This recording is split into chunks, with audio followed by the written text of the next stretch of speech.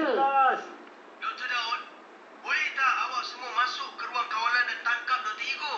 Tapi macam mana kami nak ke sana tanpa diketahui Dr. Igo? Bukankah dia boleh nampak melalui kamera CCTV? Kami akan cuba buat Dr. Igo sibuk dengan kami. Hinggakan dia tak ada masa nak perhatikan monitor CCTV. Masa itulah awak kena masuk dan menangkapnya. Ini saja cara tewaskan Dr. Igo.